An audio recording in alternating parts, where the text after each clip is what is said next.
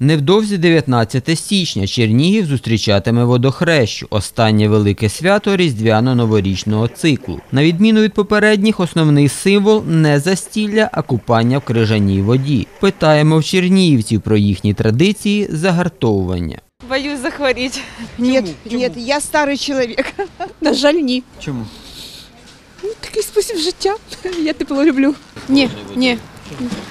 Ну, тому що боюся. Ой, не, мы такие слабенькие, чтобы это дело чуть что, так все в тепленькой водичке, бо сразу и насморк, и все ловим. Ні, не закалююсь, бо зараз дуже хворий. На зимню рибалку закалююсь. Оце й отримав.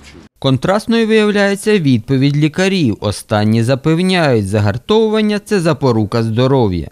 Повышается иммунитет, развиваются защитные, усиливаются защитные силы организма, укрепляется иммунная система, и организм легче переносит воздействие э, неблагопри- неблагоприятных факторов нашей среды. Проте без підготовки балуватись крижаною водою не радять. Процес загартовування краще впроваджувати поступово. Людина повинна бути психологічно готовою та здоровою. Что такое закаливание водой? Это не сразу э, прямо головой в прорубь. Так делать нельзя категорически. Закаливание водой – это обтирание, это контрастный душ, это обливание и в конце концов это ныряние в прорубь. Серед опитаних чернігівців знайшлися й порівняно невелика частка готових зустрічати водохрещу.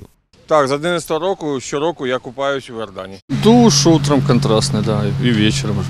Більшість же говорить про своєрідний рух по колу. Хворію, бо не загартовуюсь, а не загартовуюсь, бо хворію. Ні, я не закаляюсь. Чому? Хворію.